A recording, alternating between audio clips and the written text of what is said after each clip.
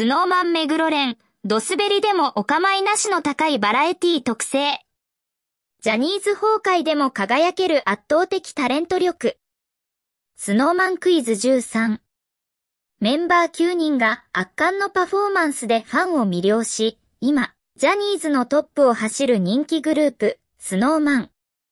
映画にドラマ、バラエティにと大活躍なメンバーのエピソードからクイズを作ってみた。ファンなら全部わかるはず。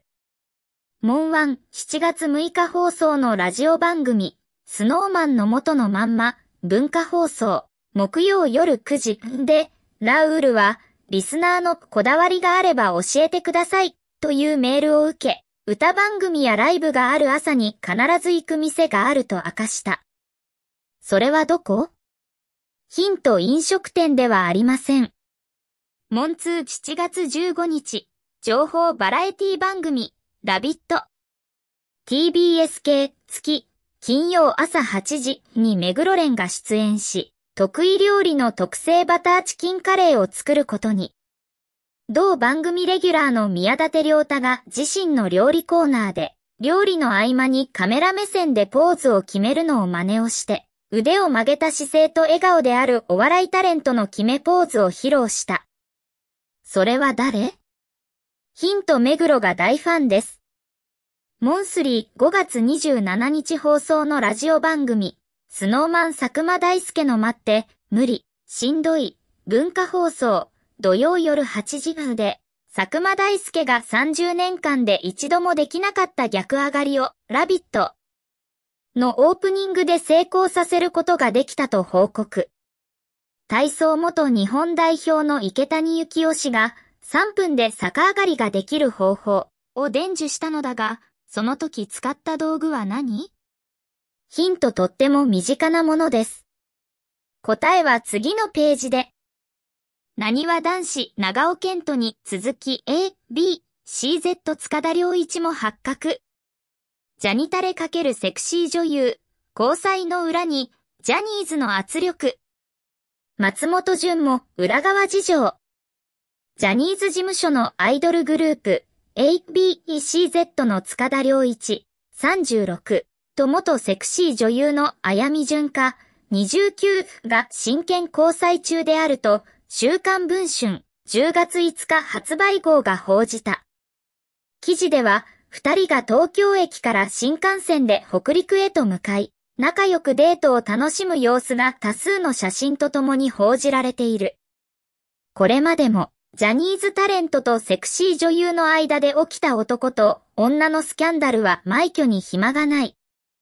先の2023年9月7日発売号の週刊文春では、キスマイ FT2 の千賀県と32と何は男子の長尾県と21区が、それぞれ異なるタイミングで同じ元セクシー女優の自宅を訪れる様子が報じられたばかり。遡ると、14年には当時 V6 のメンバーだった森田号44とみゆきアリス36の熱愛が週刊女性、主婦と生活者で報じられている。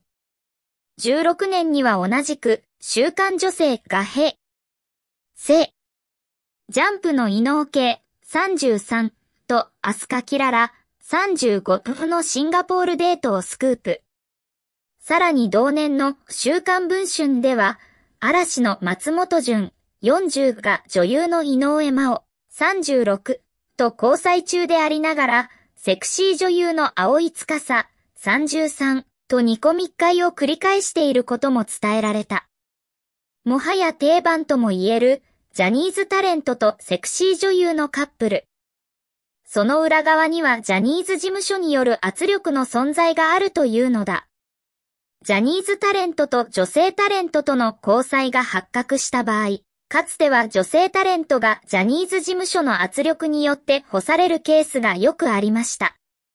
事務所全体に被害が及ぶケースも。しかし、セクシー女優に対してはその圧力がないんです。民放キー局関係者。藤井聡太竜王が戦勝史上最年少タイトル争いを羽生世代現役騎士が語る。伊藤匠七段に大プレッシャー羽生球団は藤井さんに勝ってやろうという思い。前人未到となる将棋界のタイトル全八冠無理制覇まで、残すところ王座戦のタイトルのみとなった藤井聡太竜王21。そんな最中、10月6日から始まった竜王戦で挑戦者として藤井竜王に相対することとなったのは伊藤匠七段20だ。7日に終局を迎えた第1局は白熱した展開の中、藤井竜王が勝利を収めた。将棋記者が解説する。伊藤七段と藤井竜王は同学年。5日に行われたタイトル戦の前夜祭では、すでに誕生日を迎えている藤井竜王が私の方が1歳年上なんですけどと話して、会場を笑いに包む余裕も見せていました。一方、挑戦者である伊藤七段はタイトル戦に初登場。二人揃った写真撮影でも、口を毎一文字に結んでやや緊張した面持ちという印象でした。将棋界の若きホープとして注目を集める二人。初対決は小学校3年生の時のことである。この時は伊藤七段が勝利を収め、藤井竜王は号泣したという。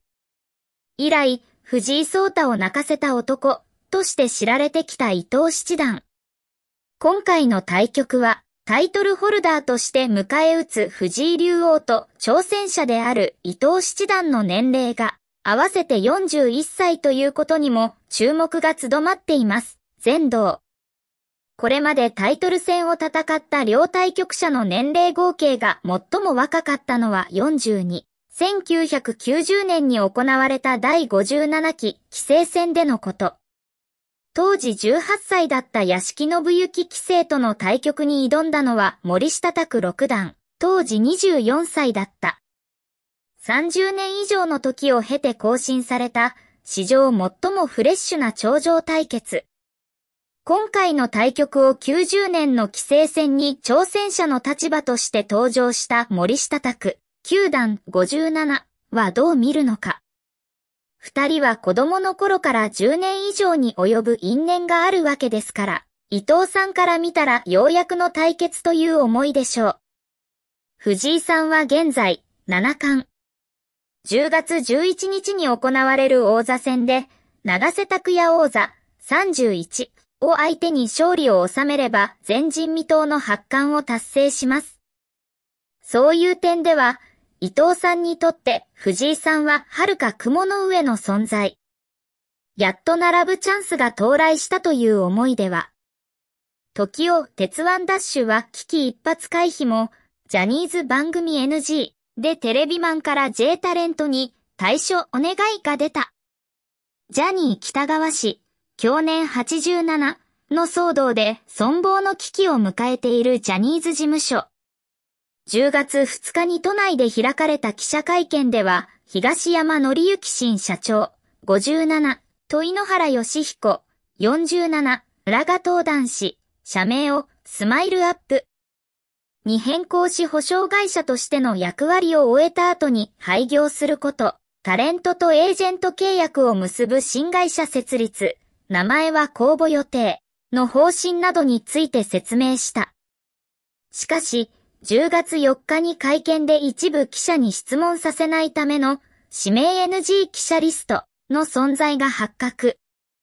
事態は好転どころがより悪化し、世間からは変わらず厳しい目を向けられ続けている。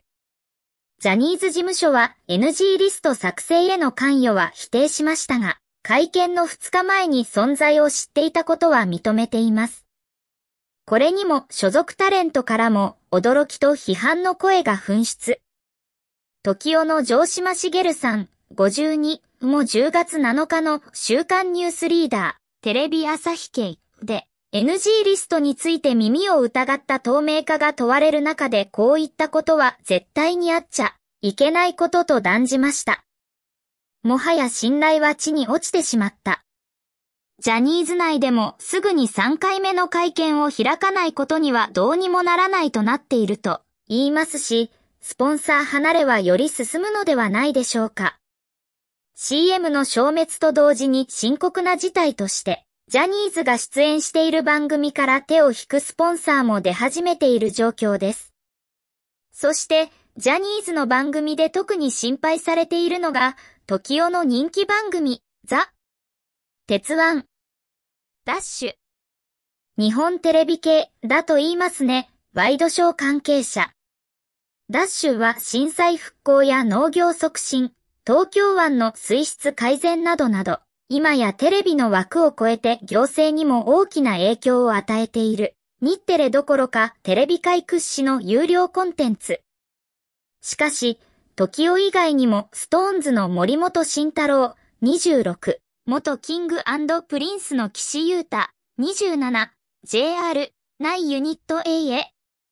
グループの草間リチャード・敬太27、など若手ジャニーズが多数出演しているジャニーズ番組であるため、やはりスポンサー危機の状態にある。流星量、日夜、ビバントの裏切り者から日朝、キングオージャー、参戦、超濃厚。声だけじゃない、三つの根拠。夏ドラマ最大の話題作で坂井正人、49、主演の連続ドラマ、ビバント、TBS 系にて、まさかの裏切り者警視庁公安部の新庄幸太郎を演じていた俳優の流星量30。日曜日の夜、最終回で見せた演技に多くの視聴者が度肝を抜かれたが、次は日曜日の朝、度肝を抜くことになりそうだ。今年は2013年に放送されていた流星の出世作でスーパー戦隊シリーズ第37作目の作品である充電戦隊恐竜ジャー、テレビ朝日系の10周年イヤー。それを記念して、10月8日放送の現行作品、王様戦隊キングオージャー、テレビ朝日系の第32話に、恐竜ジャーが出演することが10月1日に正式発表された。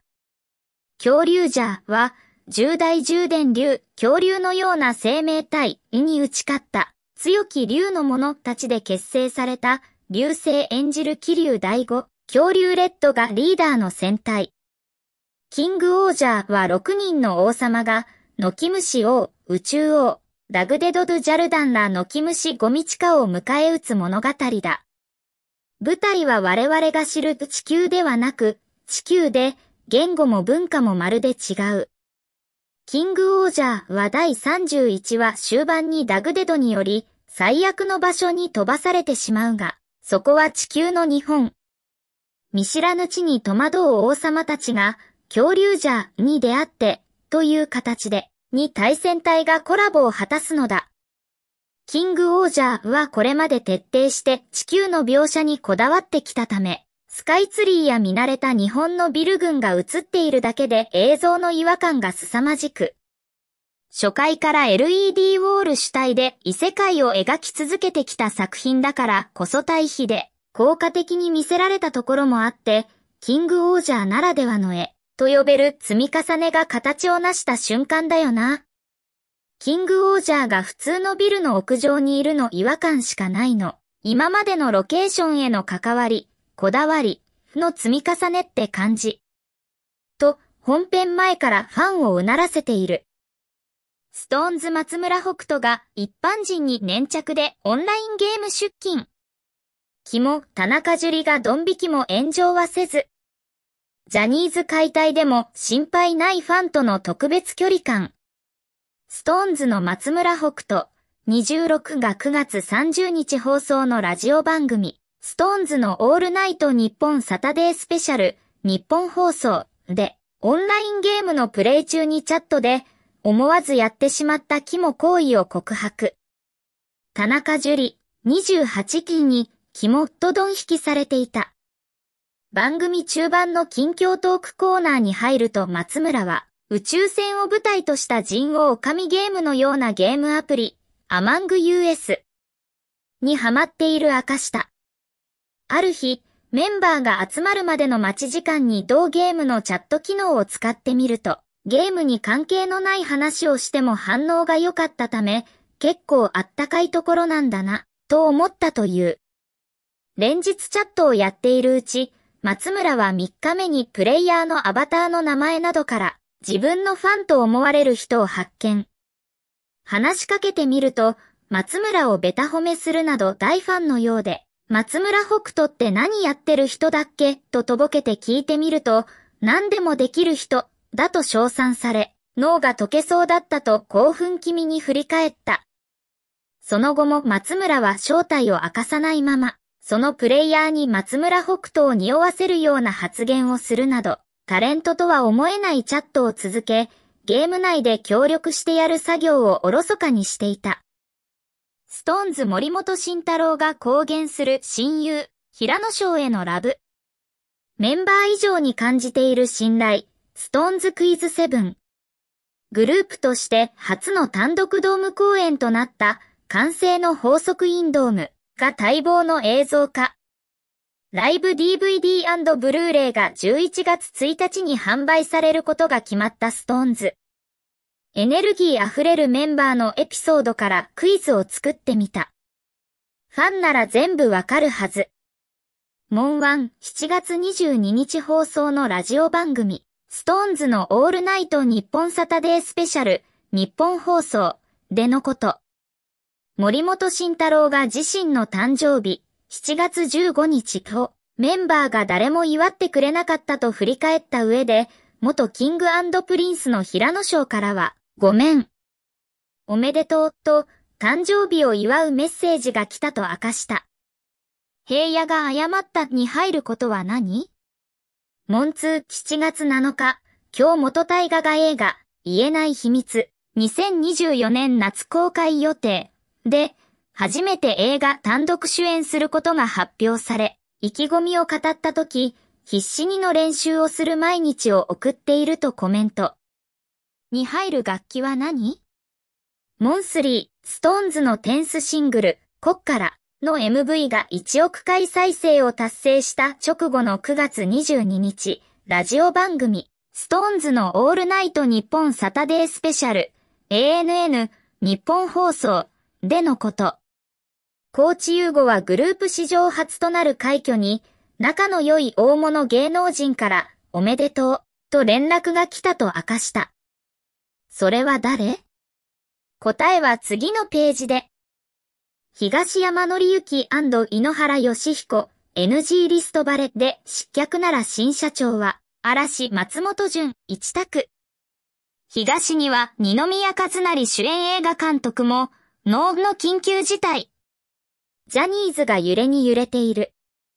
創業者のジャニー北川氏、去年87の加害問題をめぐり、ジャニーズ事務所は10月2日に都内で会見を実施。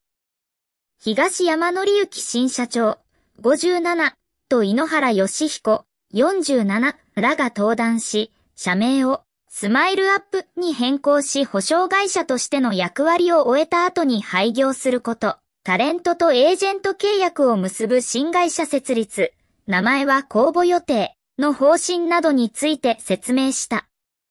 しかし、この会見後の4日になって、複数の記者やフリージャーナリストの名前や写真を載せて会見で質問の指名をしないようにする指名 NG 記者リストの存在が NHK ニュースセブンの報道で発覚。火に油を注ぐ形となり、より心象を悪化させている。